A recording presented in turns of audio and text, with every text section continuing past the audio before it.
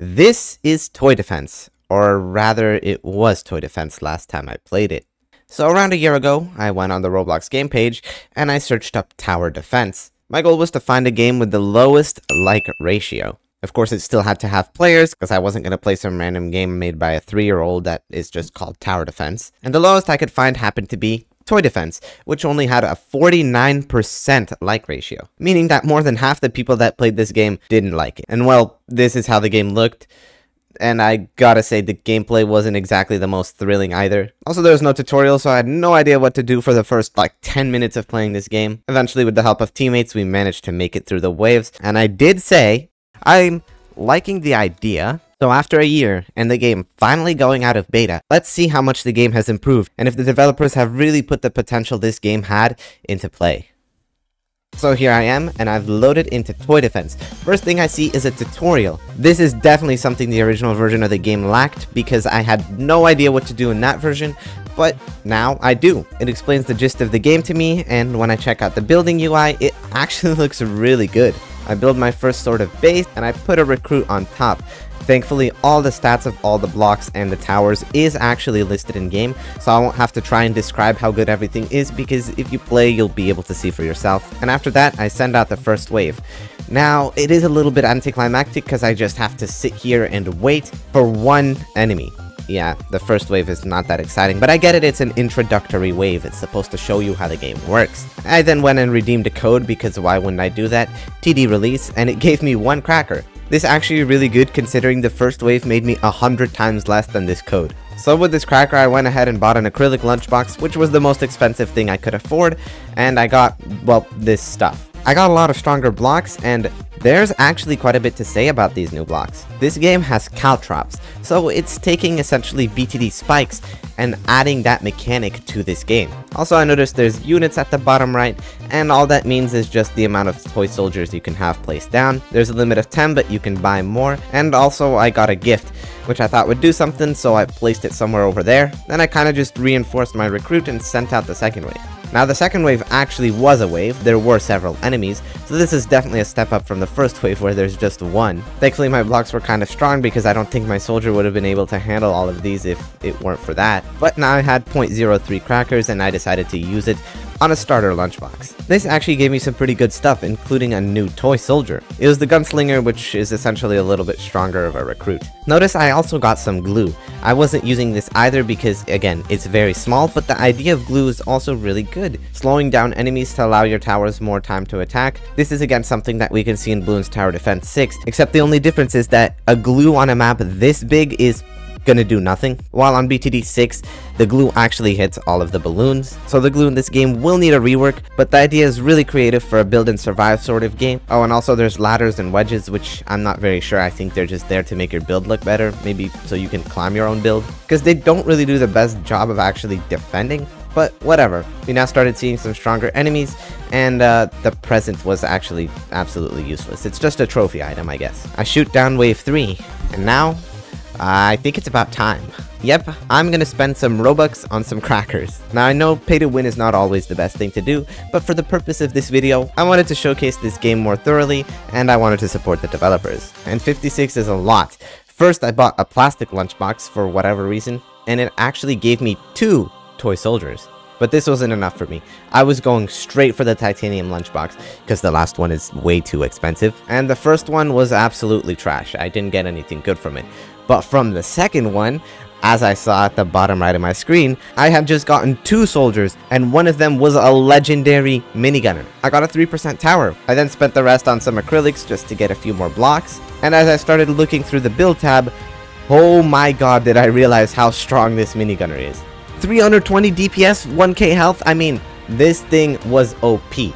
So I messed around with some blocks, then I whipped up a quick base that was going to be pretty strong and be able to handle a lot of the waves. Now the base doesn't look very exciting, it's pretty small and anticlimactic, but the stuff that's on top of it is no joke. I mean, just look what happens when the enemies approach. Yep, this isn't even a challenge anymore. So I started speeding through the waves, we started getting some stronger stuff, and when I got to wave 10, we got a boss!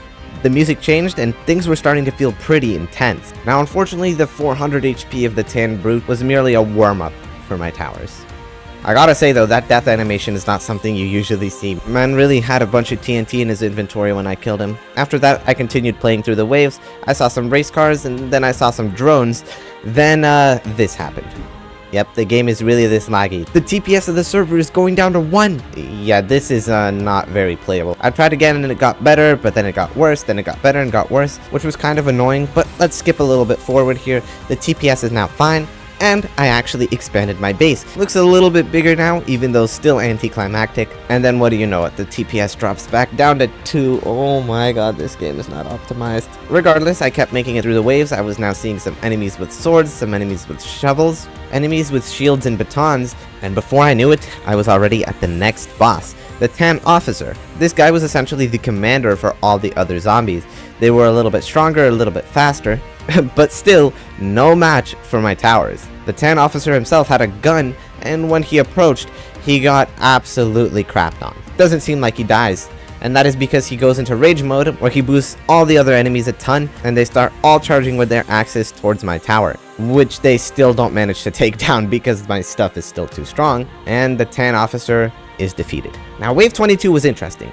When I started it, there was nothing. I was thinking what's wrong with the game, I was looking up, then suddenly, what the hell? Why is my base suddenly swarmed by a bunch of enemies? And I thought, you know, no problem, my stuff is really strong, and I actually lost this wave. Well, it was time to improvise. I started spamming a bunch of random blocks in hopes that they would reveal the enemies that were invisible, and thankfully, the plan actually worked. These enemies are called assassins, and I think I did discover a pretty good way to counter them. Thanks to this, I was able to defeat this round, but just barely. The next round, thankfully, was a little bit easier. It had some enemies with guns, but I was able to take out everything before they could be a real problem. But next wave, they were a problem, actually. They absolutely shredded my tower, and this is where the progression of the game really shows. Some waves are twice, even three times harder than the previous one. This is not something you see in tower defense games like TDS, where every wave is a little bit harder than the last. This progression gets significantly harder, and that's because toy defense wants you to grind the same rounds over and over until you make enough crackers and get good enough stuff to finally move on to the next. But I was having none of that. In fact, I saw the endless button, and that actually got me very curious, so I decided to click it, and immediately it started moving through all of the waves, because I'm pretty sure all endless mode is is just all the waves in a row. And that's what it was, actually. It was all of the waves. Yep, same exact stuff. Except I got annihilated by the Tan officer this time because enemies...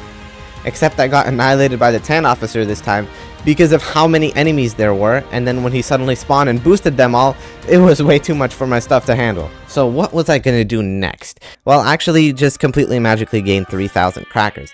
I wanted to get all the way to the end of this game for the sake of this video. And uh, thank you very much developers for giving me this. But I'd go on to buy a bunch of carbon fiber lunchboxes, which were the most expensive ones in the game. And you know what happened? Yep, that's right. I got a mythical unit.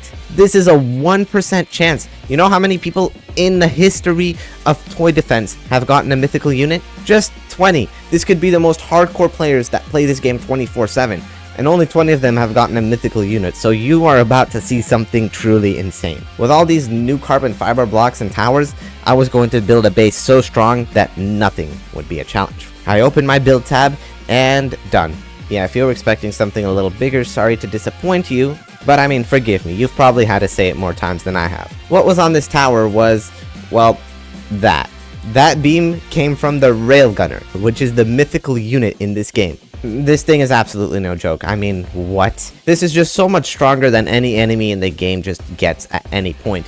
And the next few rounds, I breezed through them and oh wait, is that a plane? That was indeed a plane and it was dropping eggs. And out of those eggs would pop out uh, well, I actually can't even tell you because they get instantly shredded by my defense. Yep, my stuff was way too strong. And just like that, it was time to spawn the last wave and see what was really here. I sent it out, and actually some pretty banger music started to play, and it was the Tan Juggernaut.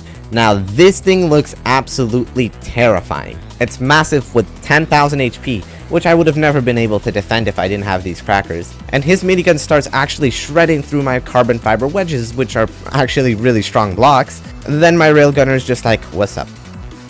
The Juggernaut apparently has a rage mode, and then the railgunner is like, what's up again? I mean, what? It's this is it? Well, not really, actually. Did you forget that there's an endless mode? So I sent it out, and, um, I, uh, um, this is a, oh, Um, this doesn't really seem fair. Um, I, okay, okay, fine. I'll put the game link in the description. Make sure to like and subscribe if you enjoyed this video. And also, stay tuned.